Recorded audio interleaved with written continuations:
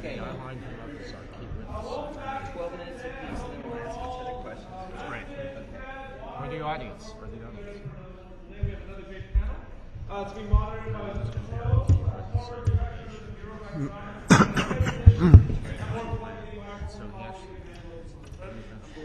Yeah, thank you very much. This is a panel on uh, consent decrees, and I just want to introduce this uh, topic a little bit. When I came to the Justice Department in, in the late 80s, there were three things that we learned uh, immediately. One is that we were an enforcement agency, not a, a regulatory agency, with the implication being that we were doing God's work and that the regulatory agencies were doing the opposite. And uh, the second thing we learned is that um, structural remedies are better than behavioral remedies for whatever reason. And the third thing we, we all learned was to buy uh, shares in AT&T so we didn't have to work on the, uh, the modified final judgment.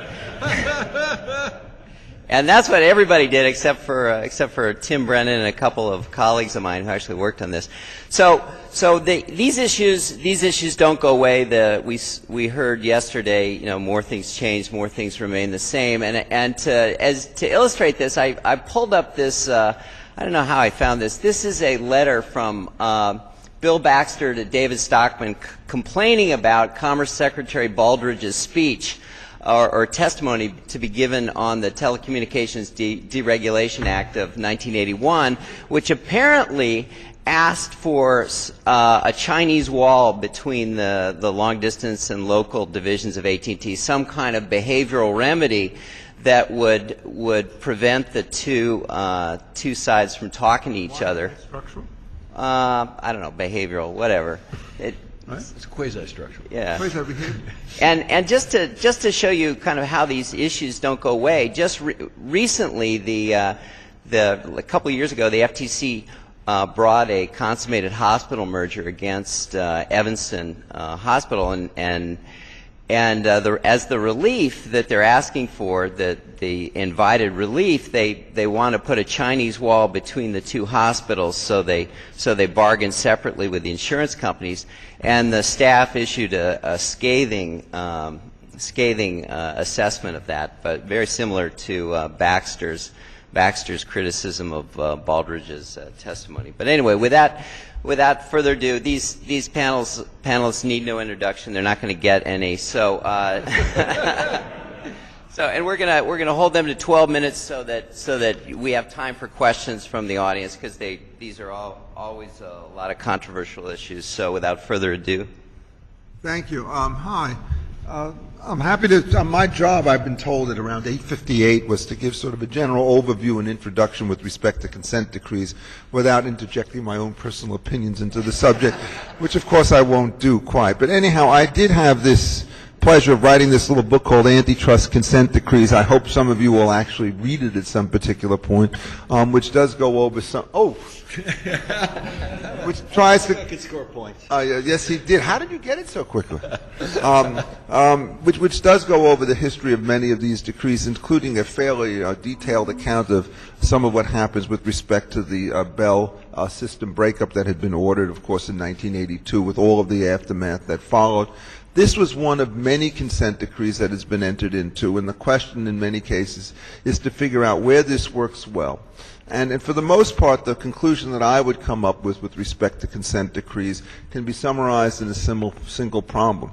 If there's an antitrust violation that you can understand and define, the appropriate response is to fix the antitrust violation and to go on and to do something else. And that the question is not so much the sort of fuzzy line between behavioral and structural remedies, which I still don't fully understand. The way in which I would call it is a goodness of fit and a tightness question between the wrong that's been identified on the one hand and the corrections that are going to be imposed on the other. And, and this is something which goes back a very, very long time. And so one of the first cases has to do with the Packers. And the question is, when you find out that Swift and Armour and all those folks are fixing prices and reducing quantities, what do you start to do? And well, one of the things that you could say is that you're not allowed to join together to fix quantities or to set prices and leave it at that. But when they actually had this consent decree, which was entered into a day after the suit was filed, so this whole thing was prearranged and jury rigged, what they did is they introduced all sorts of other prohibitions, including those which says you can't enter into certain kinds of collateral lines of business without our approval.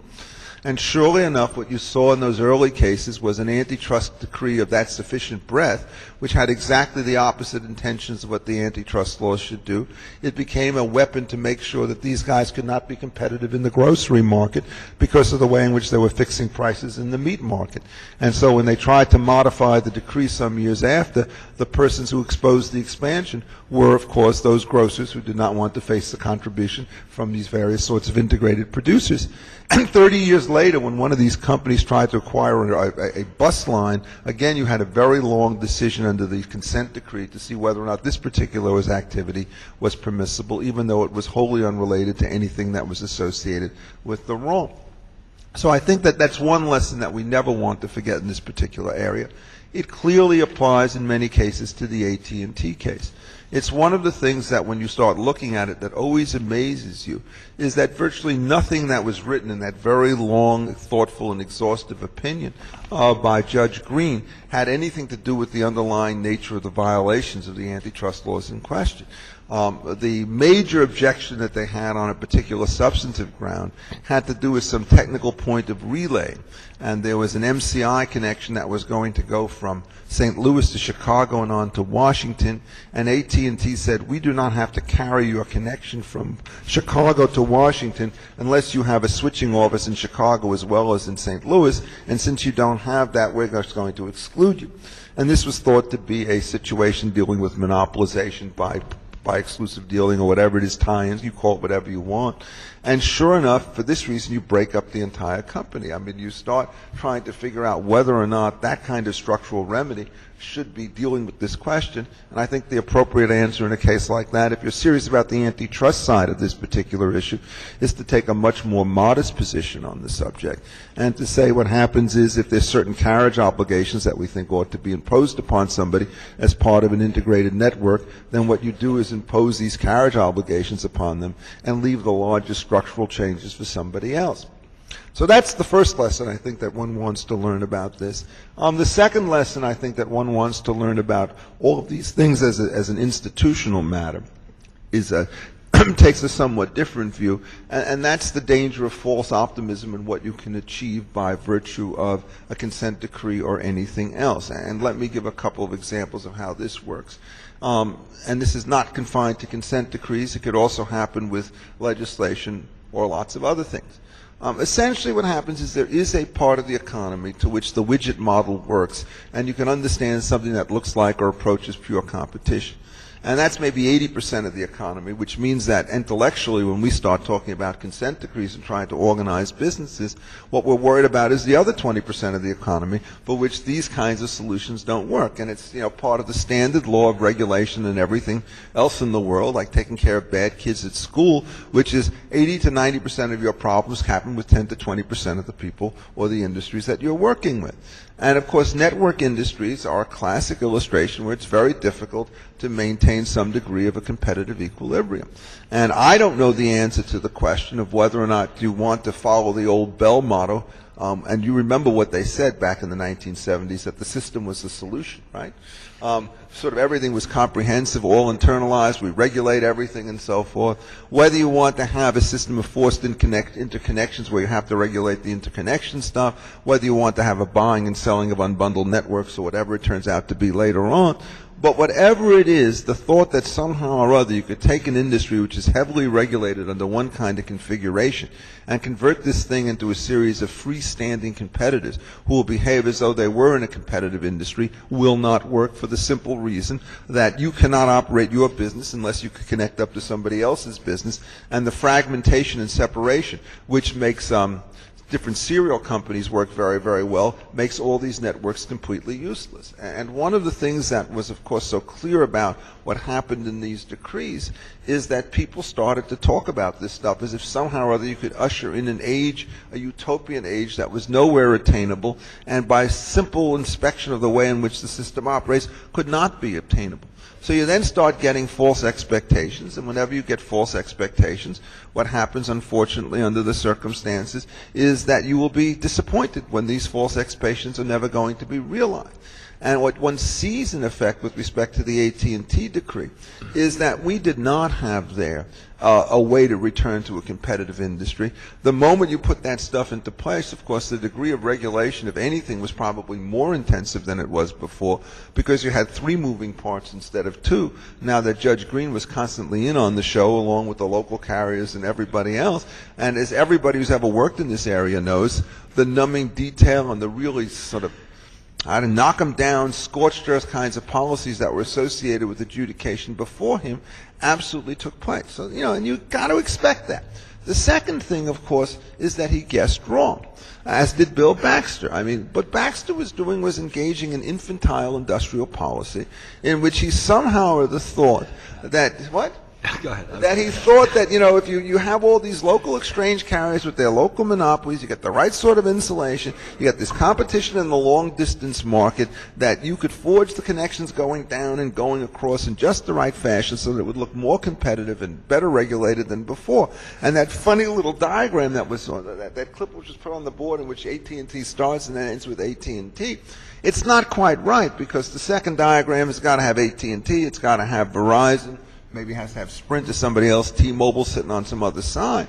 But the key point to understand is that by the time this industry sorts itself out 20 years later, uh, what you see is that all these firms are vertically integrated with local and, and sort of sort of um, long distance carrier. The cell phones start to come in, which nobody had anticipated. In fact, just as, in reference to some of the things that were said yesterday, as late as 1996, when the merger took place, and I did some work for Verizon, uh, the widespread expectation was that cell phones would never be on parity with landlines, and all the protections of landlines were sort of going up like this, and the cell phone market was thought to sputter around.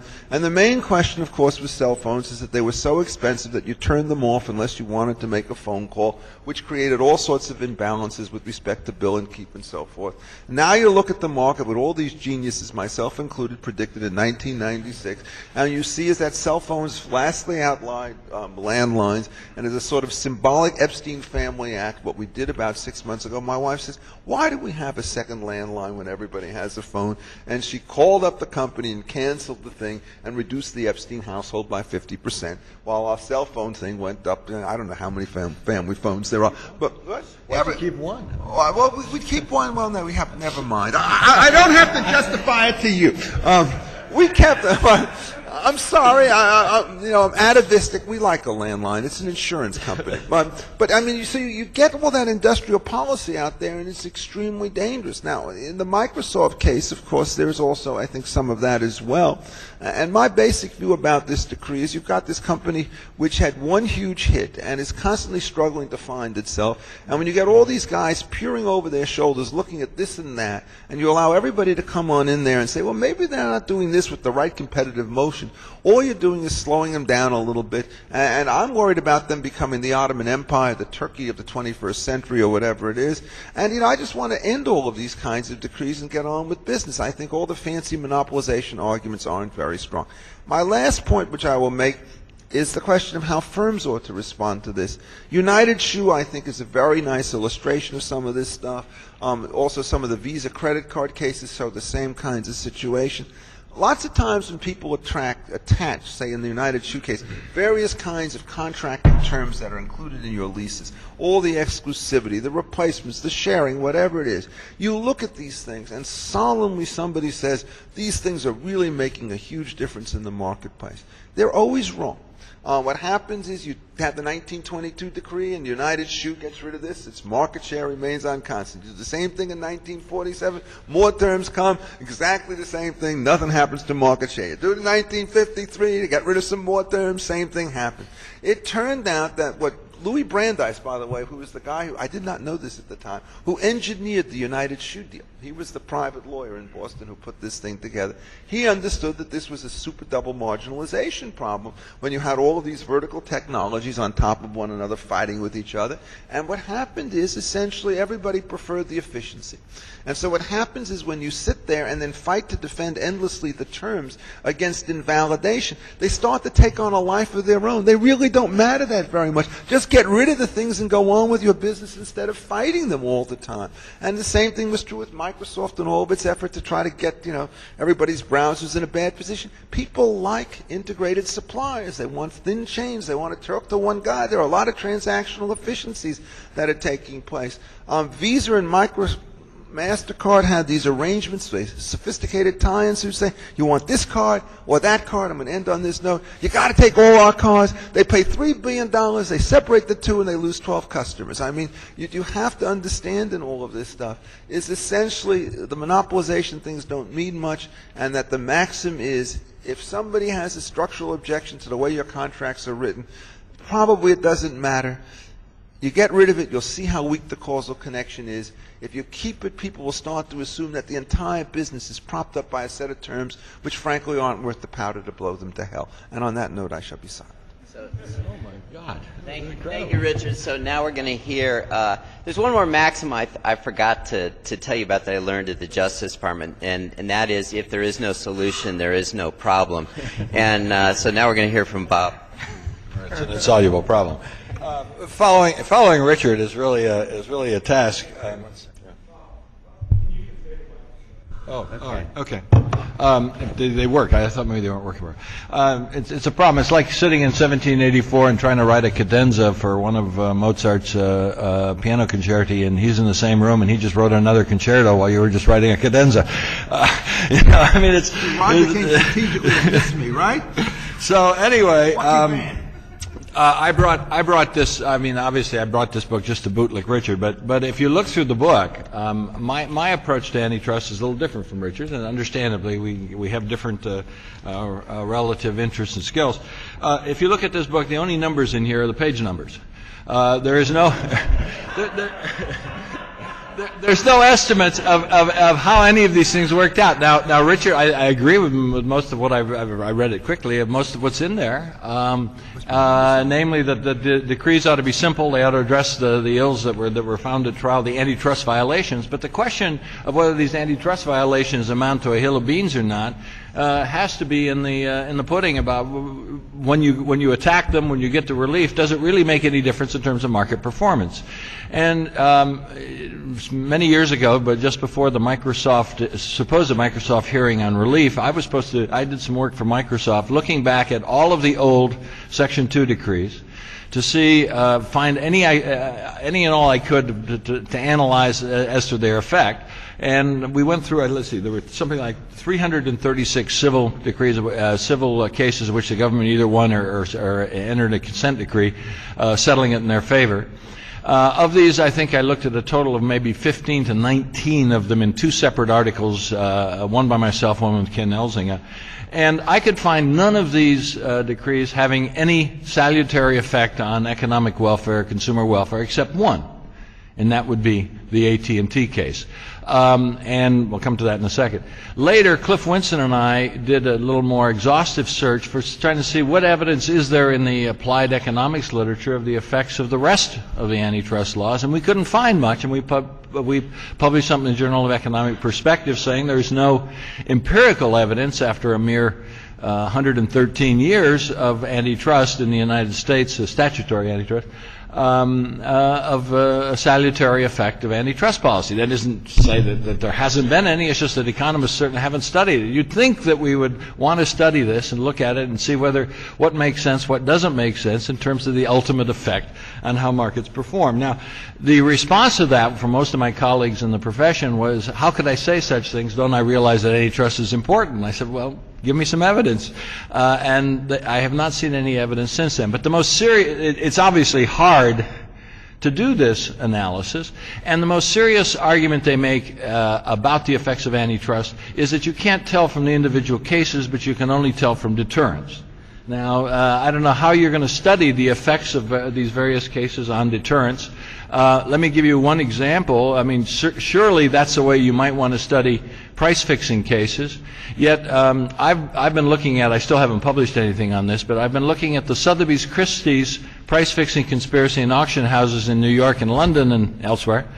Uh, where one of the members, uh, one of the, uh, the chairman of one of the companies actually went to prison for, uh, for conspiracy to fix buyers and sellers' commission premiums. Uh, once the conspiracy was unearthed, I forget the date now. Um, 1998 or so. sorry? Somewhere in the late 90s. Yeah, and I- The uh, looking at the at the evidence from only one of them who's, who publishes their numbers, Sotheby's, there's been almost no change in the share of commission revenues and total revenues uh, as a result of the breaking of the cartel. The uh, the the uh, commission revenues are running maybe 17.2 to 17.4 percent of. Um, of total revenues um, since the cartel was broken. During the period of the conspiracy, they were running about 17.9 percent. Now there's a lot more going on uh, uh, that one has to tease out econometrically. Whatever the effect uh, was, it was very small. Now to go to the AT&T case, I've just got a couple of charts up here. Um, the argument that I've always made about, in, in retrospect, we couldn't know it at the time, was that we real, the AT&T decree worked because of the equal access provisions. Now we talked about this somewhat yesterday, and Bruce Owen always gets mad at me when I say, "Well, you know, all you had to do was impose equal access, and you could you didn't have to break up AT&T." He said, "Well, that's easy for you to say, but at the time it was very hard to know that, and it was very hard to know how you were going to do it." And Joe Weber told us that, that doing it uh, was not that was not that easy. But if you look at what happened subsequently in every other country, which emulated us in in requiring equal access for entrance, uh, whether they had network facilities or not. Uh, um, uh, but those who had uh, switches would get equal access to customers. You can see that on this chart. Um, you, you can see the, the, the lower black line. I can't even tell the color there from here. Um, the, the, the, the one with little diamonds in it is the progress of U.S. long distance rates in, in terms of cents per minute over a very long period of time. And they surely declined after 1984 and have declined substantially since then. But there are two other examples in there of countries that didn't break up their telephone comp- uh, companies. Uh, Canada, and then all of the European Union countries. And you see there, they get the same pattern, but a much more accelerated pattern. By just initiating equal access and opening up um, both facilities-based and non-facilities resale competition, they got a similar pattern, even a more, a more rapid decline in in uh, in long distance rates. Now, at the time we broke up AT&T, we already had solved the uh, the terminal equipment issue pretty much because the uh, North Carolina case was what 1977, right? Uh, so e- there was already equal access for terminal equipment. So the effects of this decree have to be uh, measured in terms of what happened in the so-called inter-exchange market. Uh, it's still not. Um, uh, you, I, I, can't prove that the, the, the structural separation didn't add to competition in addition to the equal access because there's all this issue of, of favoritism even if they had equal access at the time. But I think it's rather clear that uh, the actual breakup uh, got you relatively little compared to uh, the equal access provisions. Now, what did the decree? What did the decree cost? Well, that's I was asking Joe Weber yesterday. Um, when you went through the actual breakup, how much output did we lose? When I looked at TFP over a period, long period of time, what I noticed was a significant deviation from trend around 84, 85. Uh, and I estimated that to be about $3 billion a year. That is, holding capital and holding labor constant, output fell in the telecommunications sector by about $3 billion a year. So the, my, my assertion is that that suggests that the breakup, the actual going through the breakup, cost about $6 billion. Joe points out to me that there was a lot of un, uh, investment that had to, had to take place that would not have taken place but for the breakup, but I'm holding the capital stock constant, so it may have been more than that. Subsequent to that, we had that entire process before Judge Greene, which people have estimated to just the procedures to have cost more than a billion dollars. And then we had the 96 Act, which surely would not never have passed but for the AT&T decree. That is, wouldn't it? Sorry? I don't know what that cost, but, uh, but what, what, we know is that the CLECs who failed reported that, uh, that they spent as much as $65 billion on capital assets, and no one knows where those assets went. Some of them were acquired by other companies, maybe some were resold on eBay, but a large share of that investment, which may have been capitalized marketing expense, I don't know, the, given the accounting standards of the time, uh, but there was a huge amount of money wasted in futile attempts to compete because we started the unbundling regime in 1996 as the second country ever to do it after Hong Kong uh, and uh, and had no idea where it was going, and tried to do it in a an era of of voice. Uh, low-speed data telephony, not in an era of broadband in which other countries are now emulating us uh, and having much greater success because the entrants have something new to sell. Now, um, having said that, then the question is, have we learned anything from the AT&T decree as we go to Microsoft. Well, in Microsoft, of course, the, the appellate court found that the lower court had not established sufficient uh, uh, evidence for uh, liability on the monopolization charge to warrant the structural uh, uh, breakup between um, uh, the operating system and the applications for Microsoft, and they remanded it back for hearings and for uh, further decision on what the decree should look like. Remember that, that that hearing I was supposed to participate in on the Microsoft decree never took place because Judge Jackson opined that the government had won the case, they get to call the decree. I'm glad he, I wouldn't want him uh, uh, presiding at a murder trial, but uh, uh, that, that was his opinion, and of course his, his, his opinion was thrown out. He was removed from the case. Now, I don't know that much about Microsoft, and certainly Dan Rubinfeld worked on it. He knows a lot more, and maybe Phil Weiser uh, knows quite a bit about it. But what I'm going to do is just th- throw up some numbers to show you what has happened since then. This is what's happened to Microsoft's revenues. I don't, I don't know if you can see it in the back. The two lines, vertical lines, are when the, the, the, the uh, last case was brought and when it was settled. And this is a logarithmic scale, so what it shows is there's been some slowing of Microsoft's revenue growth. You can't get it broken out by client and server and all that over a long period of time. So I could, this is their aggregate revenue growth. You clearly see there there has been no dramatic break uh, caused by the antitrust decree. Uh, given that this was a case not just between the government and Microsoft, but between Sun and Microsoft, who was, uh, Dan could tell you, was in uh, lobbying very hard for the case uh, throughout the period and is still lobbying hard for continuation of the decree in, in the United States and in, in Europe. Here you see what happened. The red line is what happened to Sun's revenues. Uh, the idea was that if, if uh, restrictions were removed uh, on the Microsoft uh, in the Microsoft operating system, more people would use Java, and and uh, and Sun would profit from it. Well, in fact, they are using more of Sun's Java, but it doesn't look like Sun's had much success in growing their revenues uh, from it. This is what comparing Microsoft's revenues to Cisco's revenues. Why put Cisco up there? Well, what I would like is some measure of what was happening overall to the computer sector. Uh, this is, of course, the uh, um, Cisco is one of the major players, and uh, um, in the in the internet uh, um, uh, router market, and they weren't subject to an antitrust decree. You can see that they peak a little bit more in the high tech bubble and fall off more in 2000, 2001 and then start to grow a little bit more rapidly than Microsoft. So maybe Microsoft's growing less rapidly than the market in general. But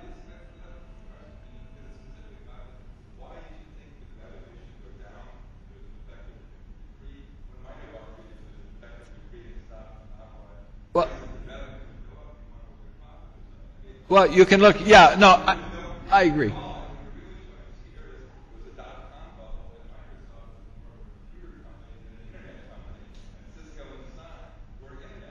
But if, if were going to lose major market share or have price suppression, unless you, unless you think the price elasticity demand is rather high, you would expect some break in their revenue growth. It's true. You could also look at their, huh?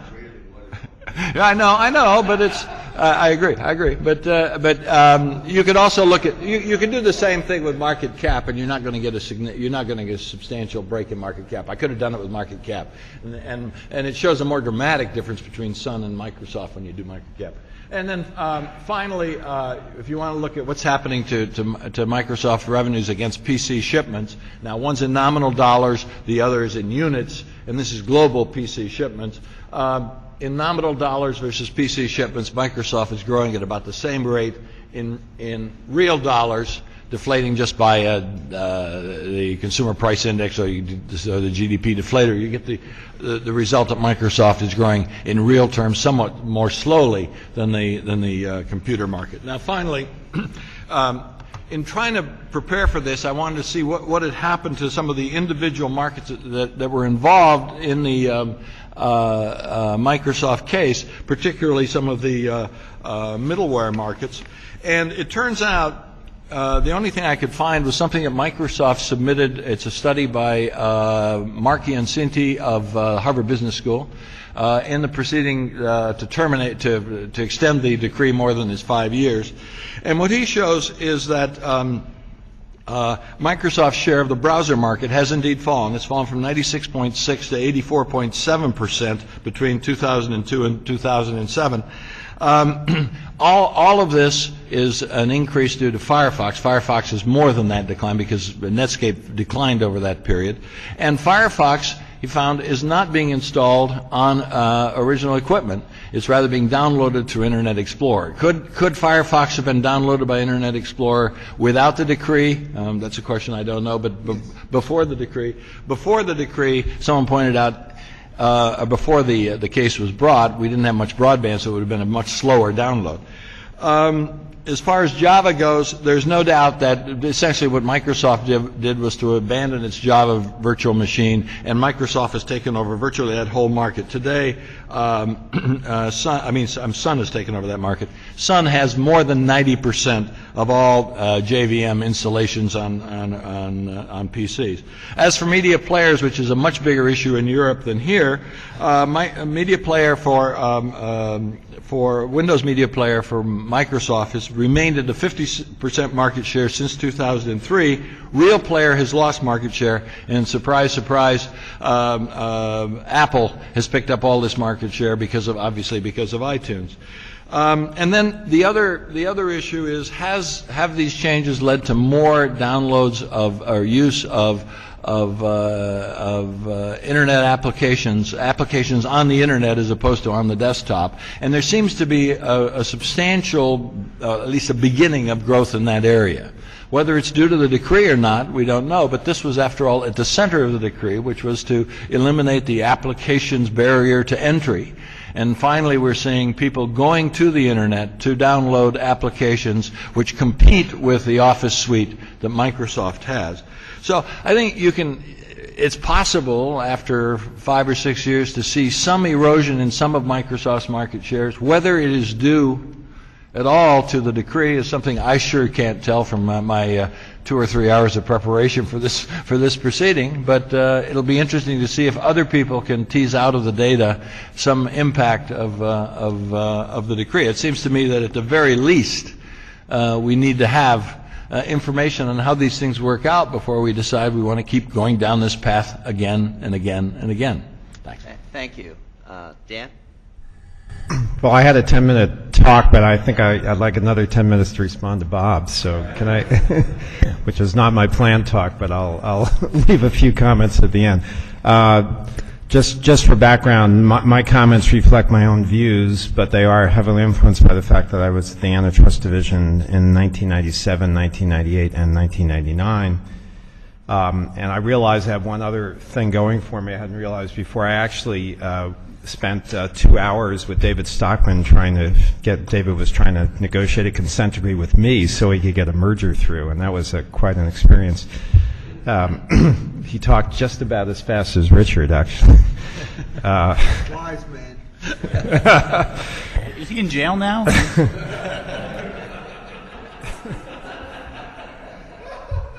Wise Alec. Anyway, I, I wanted to uh, to uh, to do two things with my time. One is just to talk uh, broadly about uh, my view about uh, about consent decrees, which is really all about remedies and talking about what I think about different types of remedies. Uh, and then I would like to, to try to put the Microsoft case in, in, perspective, and then at the end, if we have time, respond a bit to what to what Bob said. first of all if, I think most of you know all this, but it is, it's pretty significant, I think. Uh, the Department of Justice has, all, has operated uh, for a long time un, under the Tunney Act, uh, and so the DOJ has very set of specific uh, policy guides uh, uh, that surround remedies, and it, of course, has to, under the Tunney Act, has to make its proposed remedies public and have hearings. The FTC doesn't isn't isn't covered by the Tunney Act, but uh, tries to sort of mimic it in many ways. Uh, the the set of uh, proposed uh, guidelines that DOJ follows under the Antitrust Division Policy Guide to Merger Remedies uh, really emphasizes the uh, advantages of conduct, sorry, of structural remedies rather than conduct remedies. Uh, the FCC, as most of you know better than I do, uh, doesn't also doesn't operate under the Tunney Act, and the FCC, unlike uh, either DOJ or FTC, at least has a history of uh, imposing uh, conduct remedies.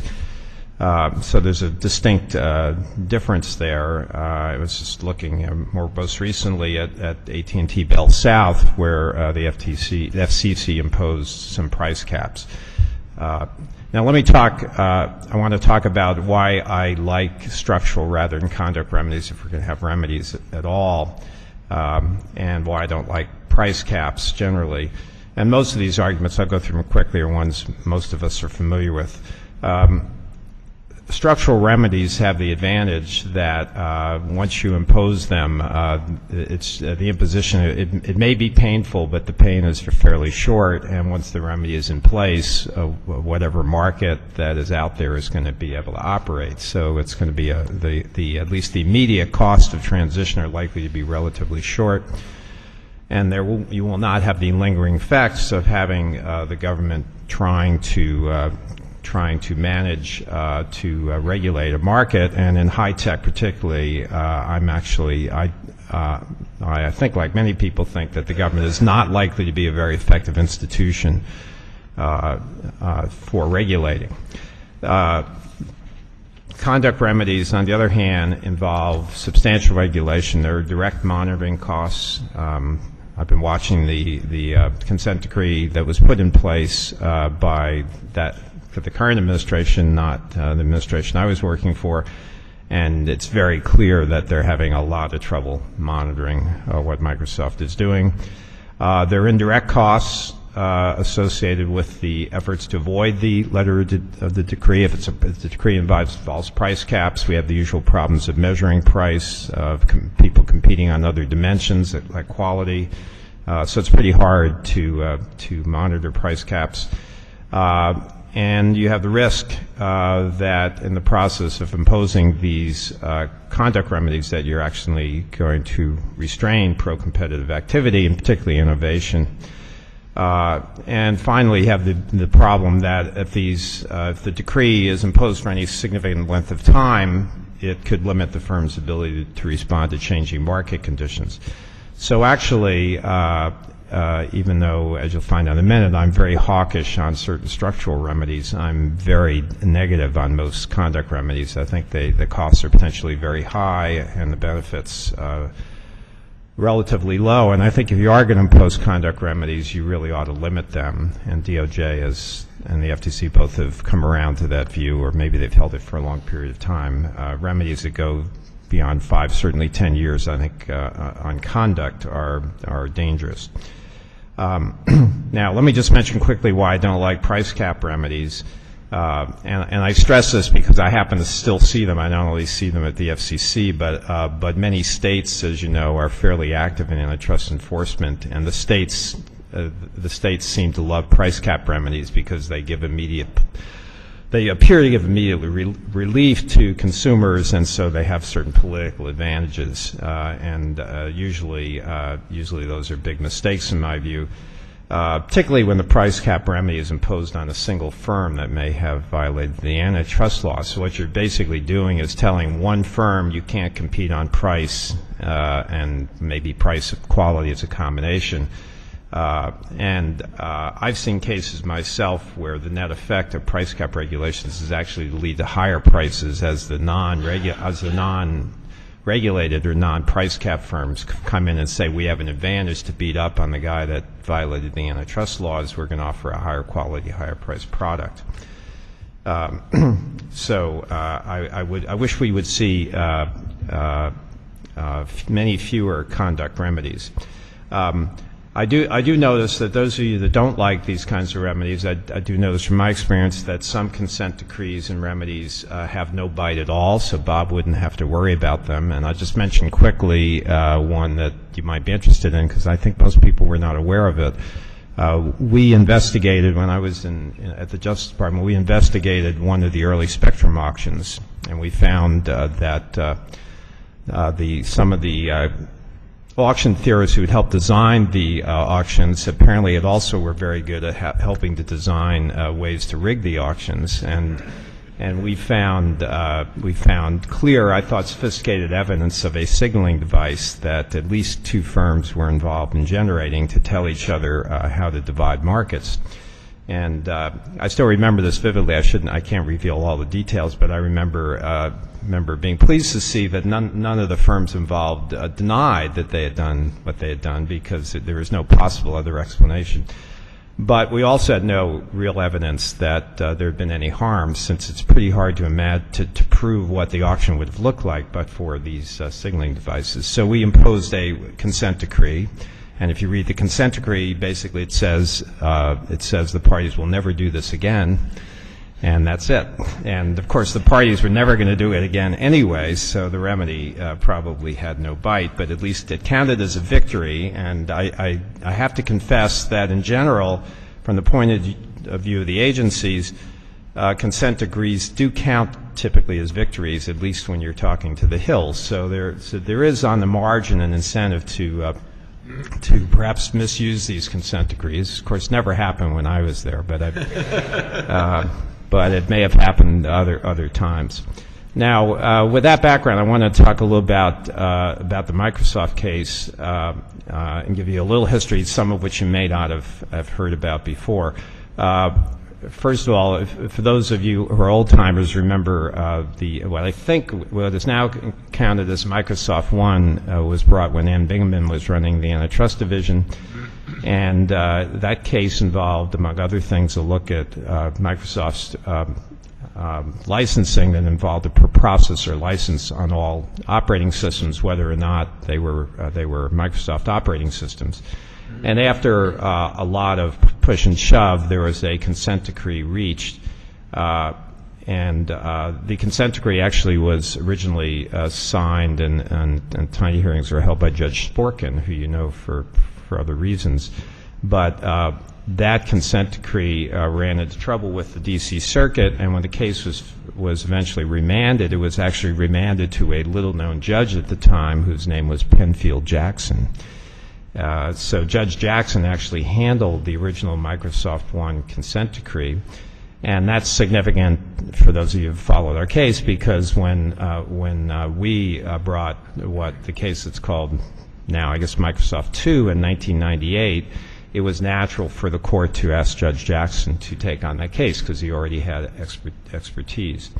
Uh, and uh, so during prior to 1998, the, just for background, the DOJ had sued Microsoft for violating the consent decree. One of the other things that results from consent decrees is it provides an opportunity to uh, create what may or may not be beneficial litigation. The, the litigation over Microsoft One, uh, the violation of the consent decree, was probably unimportant historically, but very significant actually in terms of, of process because it's sort of uh, Again, I can't reveal the internal details, but it, it kept the, uh, let's say, the process of investigation, of investigating Microsoft moving along in the direction that I think ultimately was fruitful, even though DOJ lost its, uh, its uh, on appeal to the D.C. Circuit, lost its claim uh, that Microsoft had violated uh, its original agreement. The re- agree- agreement uh, that was the first consent decree, consent decree involved, among other things, a restriction on tying, so the appeal uh,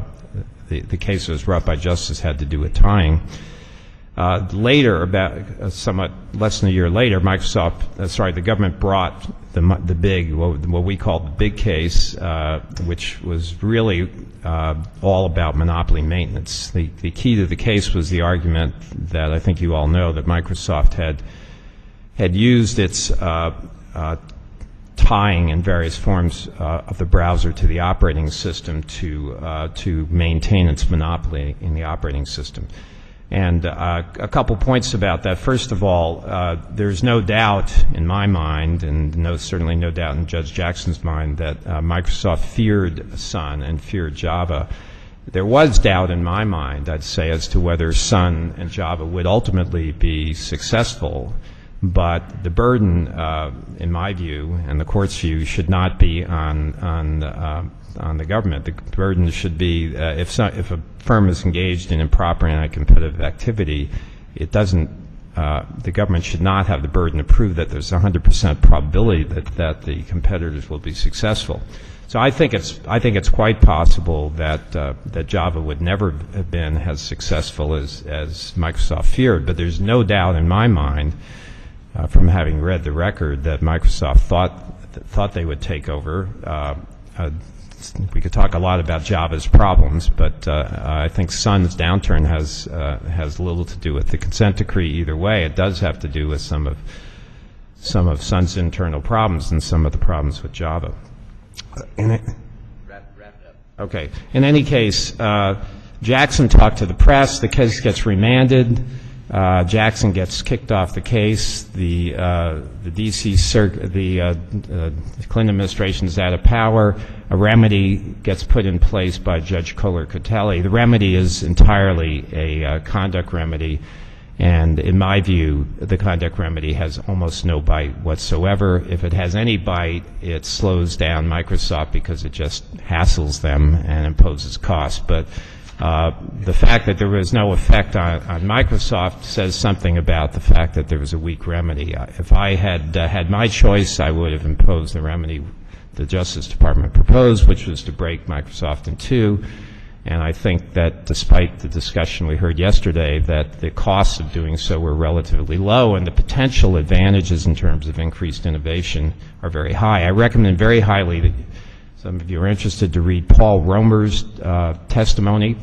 We'd spent a year preparing uh, to testify at a hearing. Uh, we should have had a hearing early on. Paul would have been the lead witness, in my view, and he has a great great statement about the advantages of the innovation that would have been created had there been uh, a second firm in the market This was to be testimony in the re- remedy phase? on the remedy phase. So we had a plan to have a remedy phase. We made a mistake. We accepted Judge Jackson's desire not to have one, but uh, that was a mistake. We should have had it. We had spent a year preparing. We had a whole line of witnesses, and it would have been uh, it would have been a good idea to have it. And Paul would have been the lead witness in that case. And his testimony is out there. It's still worth reading.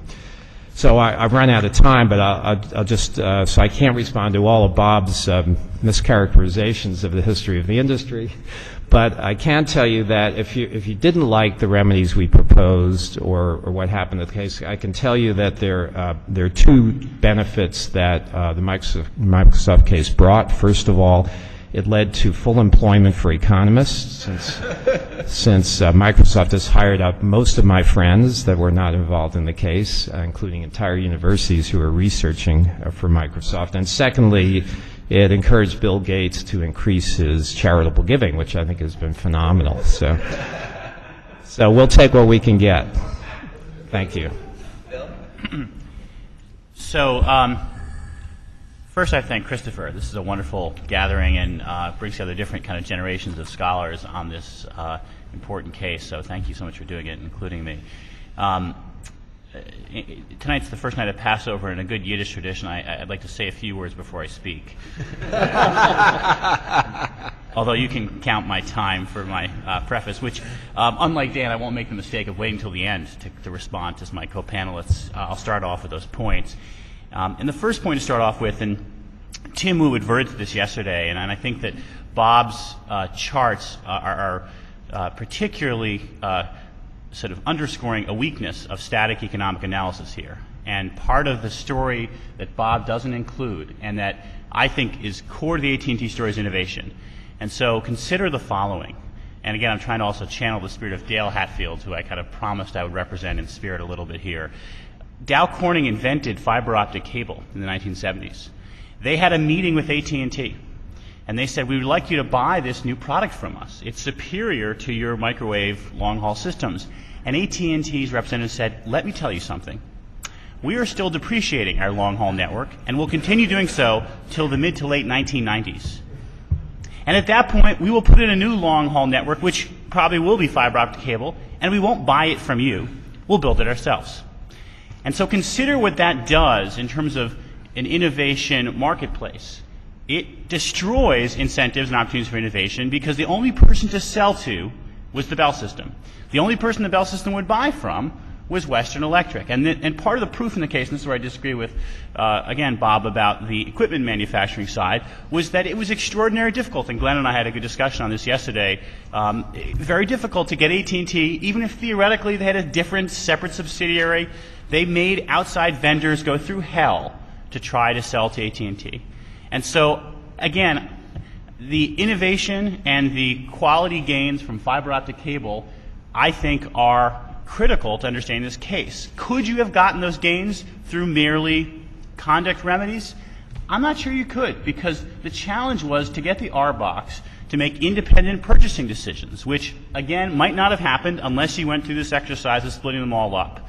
Was it industrial policy? Absolutely.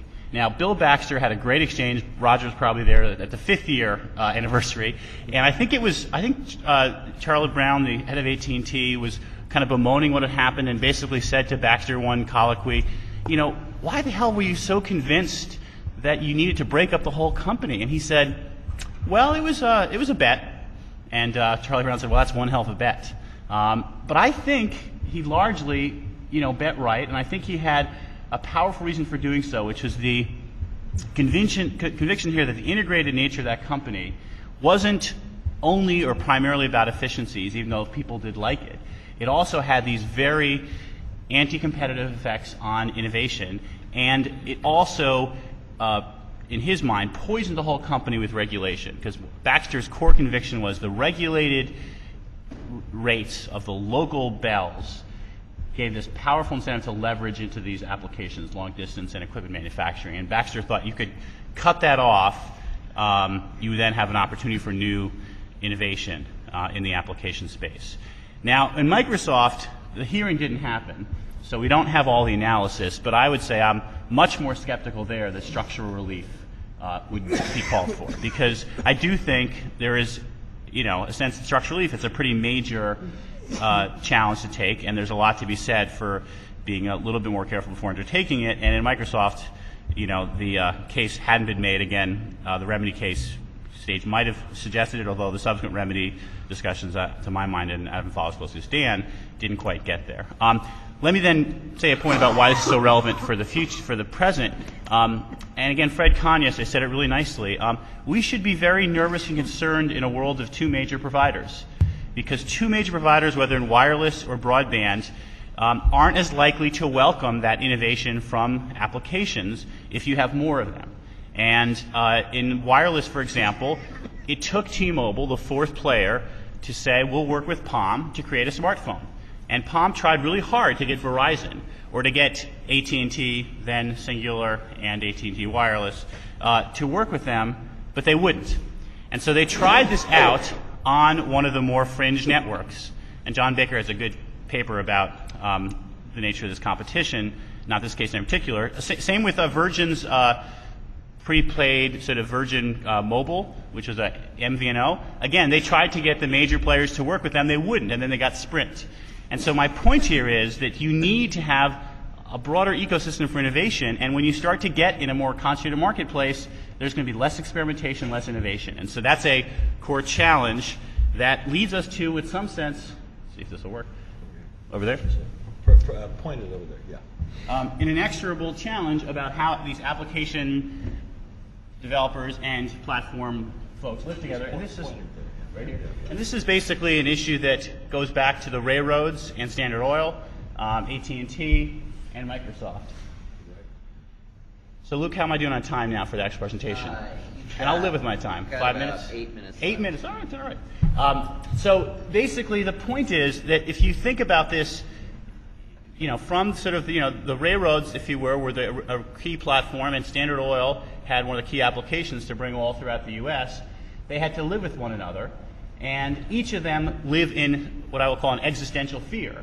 Um, the platform providers spend a lot of money to build this platform, high fixed costs. Today it's more in IP, but in AT&T it was in a lot of equipment. and capital cost. And the application developers are both terrified of ex ante restrictions on innovation that they can't get into this world, or after the fact, after they're already in, they've made the innovation, they can essentially be told, all right, guys, thanks for developing this new technology, we'd like to have it now, um, or we'll just cut you off.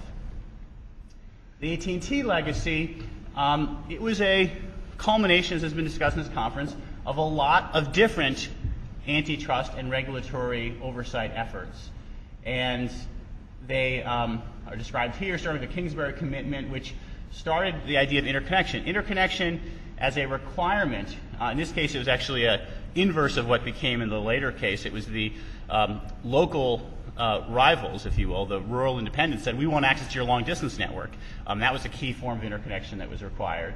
Um, the, the interconnection con- uh, concept sort of has remained with us throughout the century since. Uh, the 56 consent decree brings us into the quarantine idea, and interestingly enough, uh, that came with it was a de facto compulsory licensing requirement that AT&T did a lot of stuff in data processing. It then went ahead and shared it with others uh, without charge. Um, and then, of course, the modified final judgment, computer inquiry. Microsoft, um, different sorts of um, experiments about what uh, regulations might be put into place. Uh, the breakup, we've talked about the structural relief. Um, I'm not as negative as Dan is about the transparency, disclosure, non-discrimination. Um, we don't totally know um, yet about the effect of it. Uh, I think there's a famous discussion between uh, Henry Kissinger and Mao, where uh, Henry Kissinger says, "What do you think of the French Revolution?" and Mao says, "It's too soon to tell." Um, that's probably an overstatement, but I, I, do think you know there's there's still some room to see what will happen with Microsoft, and I'll, I'll come back to that. Um, and then, of course, the EU has its own decree, which has a separate sort of requirement. Uh, what are the criticisms of this antitrust oversight? Um, I've got four here, um, and it's uh, obviously worth taking all of these seriously. First is Epstein's, and I did have a chance to read your book, Richard, and enjoyed it, and, and surprised you didn't use the concept of the KISS principle, because uh, it didn't seem to apply. For people who are unfamiliar with it, it means keep it simple, stupid. Um, and that was, I think, a lesson that, again, is, is worth uh, for uh, regulators keeping in mind. Um, leaving it to regulators, I thought was an interesting suggestion that you didn't talk about now, but um, came up in Trinko, and I, and I, frankly thought Michael Katz's presentation was perfect on this point uh, be careful what you wish for. And it's a very interesting move that happens, um, you know, from uh, Scalia, and, and, you were suggesting in your book as well, too, which is um, the grass is greener, which is, well, these antitrust is consent decrees and antitrust. We should be really careful about them. Um, and then in so doing, we give this pay on to how great regulators are. And again, I loved, I loved Michael Katz says, are they talking to the D.C. Circuit um, on this? Um, probably not. Um, so again, I think there's some concept of, of you can have a um, marriage of the two. And I, and I personally think AT&T and Otter Tail were two cases where antitrust and regulation worked very well together, where antitrust set some of the requirements and then left it to the regulator to superintend them. In Otter Tail, it was actually a, a wheeling requirement for wholesale power, where the antitrust court didn't have to oversee it. Instead, it was mandated by the Federal Power Commission. In AT&T, uh, Judge Greene did not handle the details of equal access. He was largely able to leave that to the FCC. Um, private ordering, I'll get to that, that, in a minute. That's obviously the Easterbrook position. And then technological dynamism uh, as a potential cure. Um, so I think the two challenges are crystallized by the following two perspectives. Um, that the problem here is that neither the, the market will solve it or regulators can solve it gives us a totally satisfactory approach uh, in, in looking at this relationship. And that what makes it so challenging in part for the regulators is the tools that regulators have here um, to deal in this context are not necessarily at this point ready to the challenge.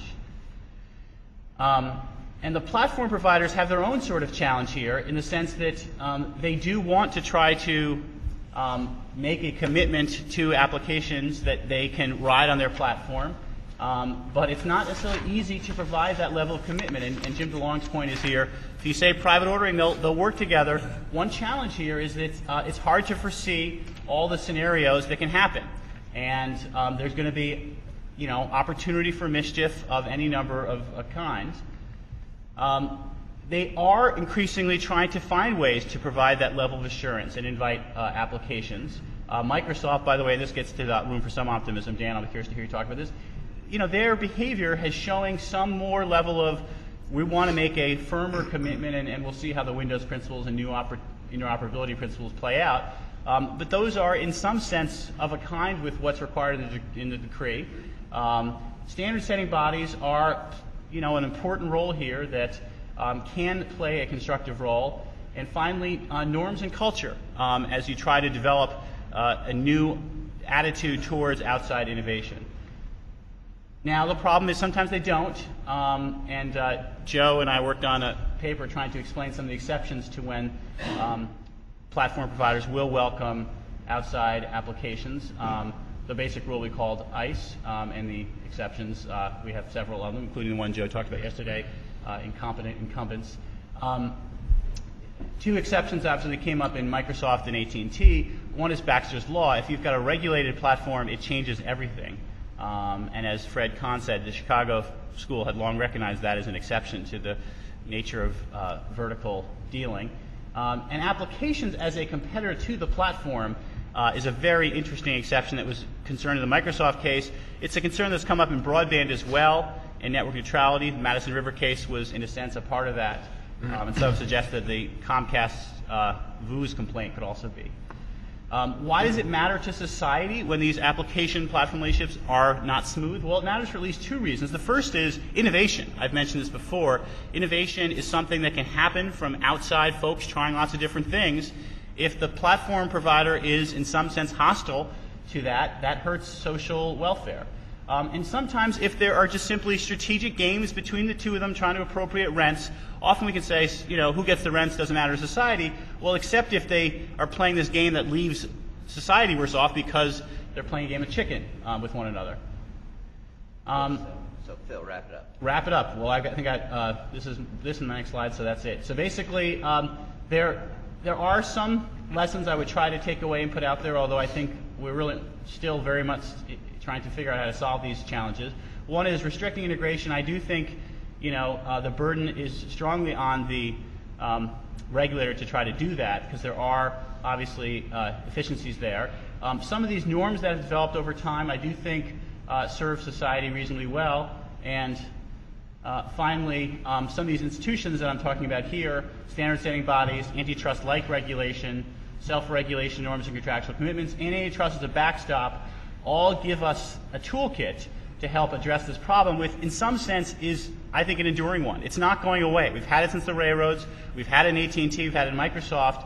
Um, it'll take different forms, and we're challenged to try to come up with ways to address it. Thank you. Uh, now I'm going to go through the panelists in the same order, give them each uh, two minutes to, to respond, and then I'm going to open it up for the floor. Thanks. Um, First of all, I mean, one of the things uh, I want to comment on is this dastardly charge that there are no numbers in my books apart from Dave. um, I I think that's actually true. And then once you see the numbers on the board, you realize why it's not only true but wise. I mean, the only. Only kind of numbers that you get tend to be those numbers about overall global performance of large, complex companies, only a fraction whose activities are associated with the act, with the particular consent decrees or the points in legal disputes. Um, it's instructive that nobody who actually worked in these cases thought the numbers were particularly important in the way in which they argued them and judged them. Um, this is an area, unfortunately, where the best you can do is to have some kind of general theory and, and see whether or not it tells you what is going to work or what is not going to work. Um, So that's my first point. My, my second point is I, I, I agree with Phil Weiser with respect to the point about innovation and so forth. And note, of course, if you have a system of forced into the connection, you'll get multiple vendors into the same system. Some of them can buy it. I think, however, there's a point to the story which he did not tell, which is extremely important, which is that one of the reasons why AT&T took its particularly hostile view has to do with the way in which rates are set in these industries. Uh, what typically happens in these cases is the equipment, in fact, depreciates very rapidly relative to new technical innovations, and the regulators wanting to keep the rates low in the early period say, ah, what we'll do now is we'll slow this stuff down, we'll give you slower appreciation in the earlier periods and higher depreciation in the later periods.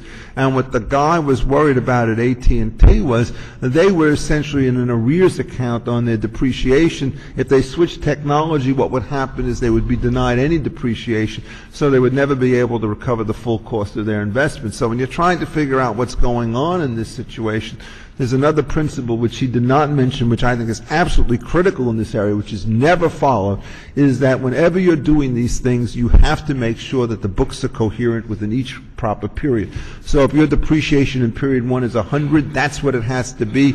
You don't want it to be treated as 50 on the books, have 50 carried over.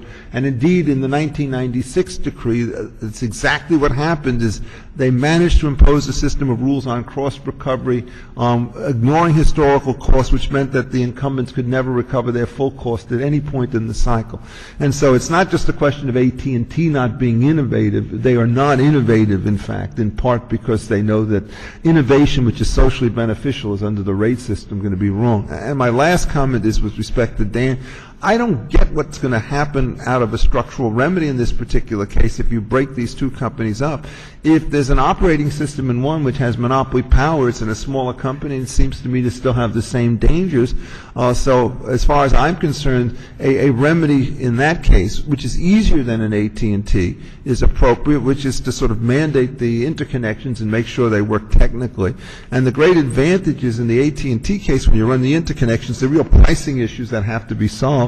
Whereas for the most part, the pricing issues on a zero in the in the Microsoft case, nobody even talked about them because everybody kind of assumed that no one's going to charge for anything, which in fact is the focal point. So I don't think the structural remedy that he wants works, and I thought that the, you know, Doug Ginsburg said it was a pretty good remedy. He's one of my former students, so I think that everything that he says is about right. Um, so I would. I don't think the decree was bad, and I think the uh, Dan is right that the niggling way of nipping at the heels of the company has made it into less of an agile entity than we want. So that I think the key feature is to make sure that now that it's supposed to be over, let it be over, and and you know maybe you won, maybe you lost, but let's go on to the next piece of futile action somewhere else. Uh, Well, uh, you did use numbers in your your rebuttal. You said the number of vendors, so I, I- so, uh, that's the hammer. Uh, In in response to, uh, to your notion that, I mean, you you certainly can do empirical analysis of the effects of antitrust cases. The fact, in response to to Michael's point, I mean, it's a very good point. I- Just throwing the revenue numbers up there doesn't tell you a lot. What I'm trying to do is to provoke people into beginning to look at this. I mean, there's no superficial evidence other than the sorts of things I was uh, I was talking about in individual markets that suggests the uh, the decree has worked. It, or, has worked very uh, dramatically yet. It may well be uh, that it ha- it is working, and people ought to get into the numbers. But uh, unless you get into the numbers and look at what has happened to innovation, what has happened to uh, the, the price of computers, operating systems, applications, new applications, and so forth, I don't see how you can you can reach a conclusion as to whether something has worked. Now, on the uh, AT&T decree and the installation of fiber optics, uh, that story has been around for a long time. Um, I think we need more than just waving our hands at that. First of all, um, a lot of the initial fiber optics installation really uh, took place in the inter-exchange sector. Um, um, just having the equal access provision would have made that sector a lot more competitive and would have induced the Microsofts, I mean, excuse me, the MCIs and the uh, Sprints of this world to to lay uh, fiber optics to which uh, AT&T would have had to respond. Um, the question of whether breaking up the operating companies within AT&T caused them to become more efficient, I wouldn't be surprised but what it did, but I don't think you use the antitrust laws for that. I mean, it may well be that today breaking up General Motors into separate uh, companies would cause maybe one of those operating divisions to produce something that people wanted, uh, but but uh, you're not going to use antitrust laws to do that. That's a competitive market right now, and, and General Motors is successfully managing themselves into the ground. Uh, I'm surprised the stockholders haven't demanded that on their own. So I don't think you you justify the AT&T case in terms of well, it uh, it made the uh, individual operating companies uh, operate more efficiently. Uh, you have to justify it in terms of co- competition policy and whether it increased competition. Sure. The the Microsoft case was really all about innovation, and uh, Paul Romer pointed out in his testimony that innovative efforts by Netscape and some were directly impeded by Microsoft's actions. As a result, applications developers who could have written programs that were complements with the Netscape browser or Java faced reduced incentives to do so. Um, the story that really comes to my mind is one, one party that I won't mention came in to see us at the time and said, uh, we're really worried. We have this new innovative device. And by the way, most of the innovations, I said this yesterday to Mike Salinger, a lot, most or many of the innovations in this space were done by very small companies.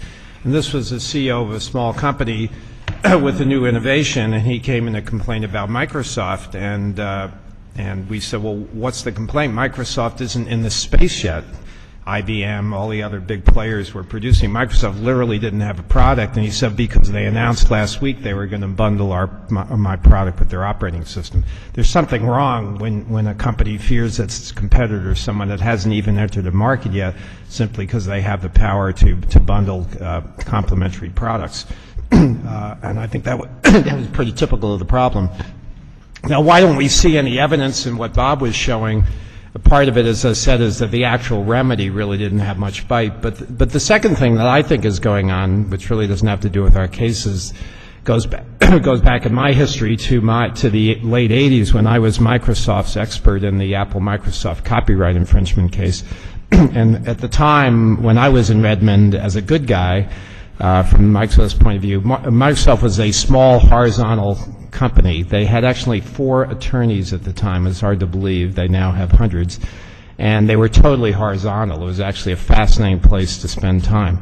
Gradually, as companies get bigger, they have to become vertical. And my, my view, uh, just as, as a distance, is that it, Microsoft has had trouble adjusting to, to becoming much more vertical. It's, hard, it's harder to create internal incentives to, to create innovation when you have that kind of vertical structure. So I think some of their uh, uh, the fact that they haven't continued to do quite as well as some expected really, it probably doesn't have anything to do with the consent decree. It probably has to do with the fact that they're dealing with the problem of being big. Uh, and maybe 10 or 20 years from now, Google will do the same thing since Google is now horizontal and someday is going to have to become come vertical. uh, so I wouldn't want to claim that the uh, the consent decree had much to do either way. I also, by the way, am not thrilled by some of the remedies imposed by Europe, even though I think that the uh, that there's a real problem with the uh, RealPlayer. There a real problem with the RealPlayer.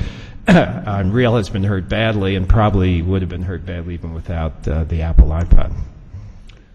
I I guess three quick things. The first is with regulation.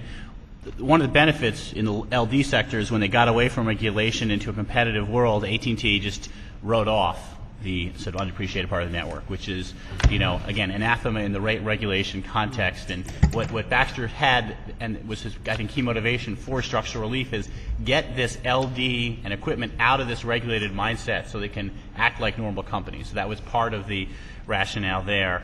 Um, a, a second point um, with respect to um, innovation in the Bell operating companies, the, problem, uh, Bob, was that they couldn't purchase switches from anyone other than Lucent.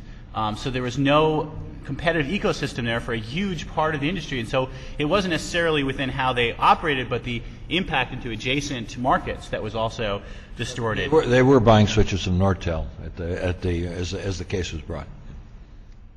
I'll I'll let, I'll let Mike, I'll let Mike, telephone I'll let Mike was Altschul uh, have a rebuttal on that one. He worked on that part of the case, so um, Mike can, can take that one. And finally, I guess just for Dan, I, I'm just not as uh, deeply pessimistic about the decree and litigation having no impact on Microsoft's behavior. I don't think they've been bundling the same way after the case, um, and I do think their commitment to openness, you know, reflects somewhat of a new perspective. I think Richard talks about this in his book with the new general counsel. So again, Oh, big difference. yeah, I I do think that, you know, um, it- it's not so easy to kind of, it's, it's easy to say when you get structural relief, it's having an impact, but I, I guess I'm not convinced of that.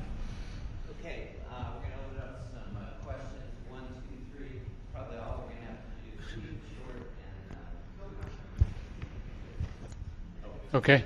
Um, so a question mostly or, uh, for Bob, but also for everyone.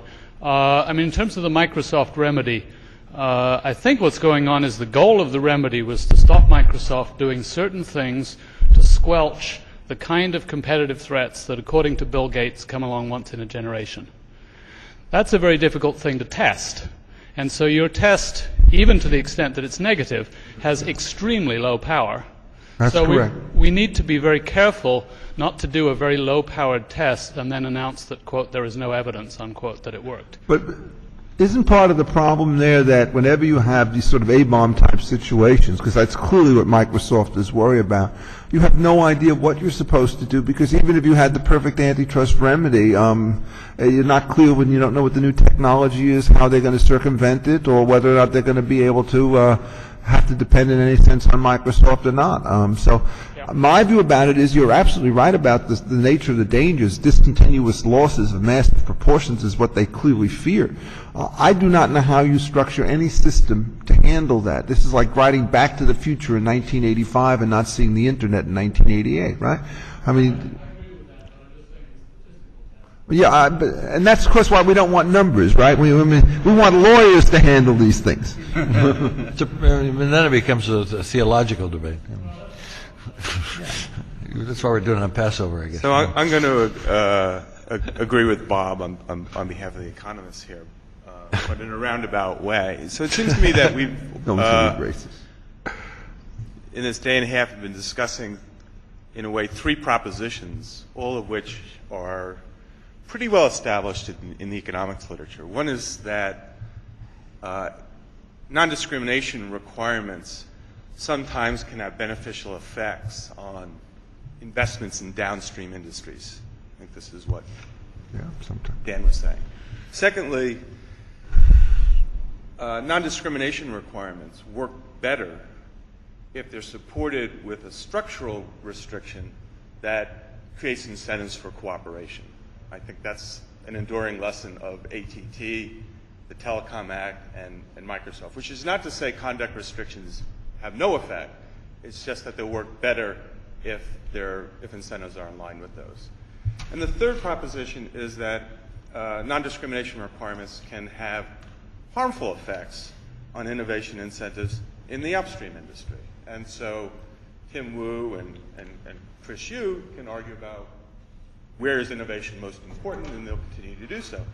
But at the end of the day, there's trade-offs between all of these things because structural remedies have their, their direct and indirect costs as well. And so what we really need is to start thinking about how, how to weigh those trade-offs empirically. Uh, there's theoretical work to be done to identify the relevant market conditions in which one might be greater than the other, but, but ultimately, uh, it's, it's, it needs to be an empirical debate, and it's a very difficult empirical debate because in any particular case, you're always weighing what happened against a counterfactual about which you don't have any evidence. Uh, so I think that's where the hard thought needs Just, to be. just briefly, and tying it in with what Joe said, um, uh, it seems to me, first of all, that if, if uh, the remedies which were finally imposed on, on Microsoft, or to which they consented, had been um, uh, dangled before them um, much earlier, they might have settled on that basis. Uh, Actually, early. they were. They were. Judge Posner couldn't talk about the most interesting thing, which Well, is his know, yeah. his effort to bring that case to a close, and it was the states who reportedly undermined that. And that, that could have happened in 1998 But it strikes me that the costs of this decree are far less than the cost of a structural breakup in the AT&T case, for example, and therefore the benefits correspondingly don't have to be nearly as great to offset the cost. But then the, uh, the other issue, it seems to me, is whether the, uh, the opening up of, of network computing through Java and, and competitive browsers, if that was a, a threat to Microsoft in, uh, in the mid-1990s, is it, would it not still be a threat and would it not still work, or has the time passed for that? Well, let me just uh, two things to add to Mike's list. Um, uh, Jerry Faulhaber's point, which is non-discrimination requirements work better for the simple interface. I think it's important to add to that list. The complexity of the you know uh, interface makes it more difficult. And then I would add. Uh, they work better if they're cultural norms and social pressures that reinforce the commitment to openness. Let me, this is sort of more generally a question for the panel and, and for the audience. And we've been hearing a lot about innovation in the panel. This is sort of like the talisman. We, we need to have innovation. And, and Schumpeter taught us that's really much more important than these dead weight loss triangles. So I agree with that. But, you know, there's something, and this gets back to the empirical issue. We know something as economists about productivity. We know something about what the right price levels are. We, we know something about this. We also know, as economists, that the correct level of innovation is not infinite. It's something. But we have no idea how to calculate it. We have no measures of it. So what we do is we introduce these little examples like, you know, there's some two-bit company with a product who wants to try to sell something to Microsoft, and they're discouraged from doing that. That's awful. Uh, you know, how do you know that? How do we measure that? What's the right level of innovation, and where should it be taking place? And we, we sort of, you know, Tim was doing this. We were all doing it yesterday, and we're doing it again today. He said, "Oh well, you know, we don't want to discourage innovation." So- How do so- you know what the so right Dan, level do we know what we don't know? I think we we we, uh, we know a little more than you're saying, Jerry. I mean, but you're right. There's uh, there are, um, and if you look at Paul's some of Paul's writing, uh, you'll see a lot more systematic discussion of that. But you're right. We don't have a nice index uh, that makes it so simple. It's just one of those things. It's very hard. Okay. By the way, one, one thing, uh, just to dangle for fun, we did ask Bill Gates once, uh, and I'm not going to answer this, what he thought about the breakup, and his answer would be part of a great book that I'll never get to write. So, Is it in his deposition? Is, is it in public domain? It's not. I don't think so. Is it expletive deleted? Buy me a beer sometime and uh, see, I'll see whether I can tell you the answer. Okay, let me, let me just go briefly, last word, 30 seconds each of you. Yeah, um, I don't understand innovation either, but, but it seems very clear to me that so long as there's technical improvements out there, no matter what you do, you can't completely destroy it. You will simply change the focal point at which it enters the system. And so that on balance, I think that most of these changes are not going to have huge impacts upon that. Uh, much more important in that world to make sure you don't mess up the patent system, which they're about to do um, in one way or another, and to sort of lead the industrial organization on grounds of simplicity and structure, which you're trying to do.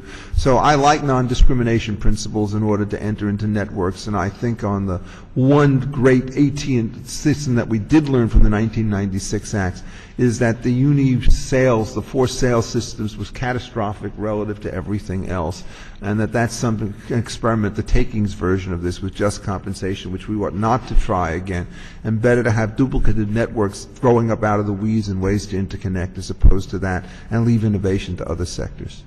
Bob? Well, I leave uh, this uh, session profoundly depressed after Jerry's uh, uh, talk. Uh, he tells me that uh, that innovation is the most important uh, um, part of the of the game here, but we can't measure it. So therefore, what do we do? I guess we're just left with uh, uh, we have to leave it to the lawyers, and that's that scares the hell out of me. No, this, this, is- this is a call for further research. Lawyers, and it's okay. I just want to tell Bob that I still am convinced after the session that active antitrust important uh, is important. Uh, Microsoft during the Microsoft trial predicted that their browser share would be 30% within two years. Uh, their is now well over 80%, uh, um, and uh, no one has no one has uh, succeeded in, in uh, jumping over leapfrogging Microsoft when it's been successful.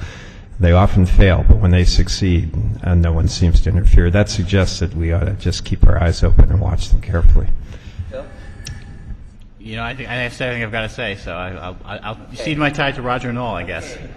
Before, before Roger wraps up this thing, I just want to uh, say, say thank you to, thank you to Christopher for putting this thing together. I I didn't really intend to be the last word, but I would just wanted to remark that only Bob Crandall and Cliff Winston believe that football players and basketball players didn't get salary increases after their antitrust cases, that there weren't more television uh, televising of college football games at lower rights fees after the NCAA case, uh, and that most recently, after the settlement of the Jason White case, that which allows now student athletes and colleges to get the same scholarships that non-student athletes can get by eliminating the cap on need-based scholarships for student athletes, didn't happen. Well, uh, panelists, thank you very much. I'm not even sure that lasted long. You thought, uh, Roger, you thought the NCAA case was rightly decided, right? You thought it was rightly decided. They were- The football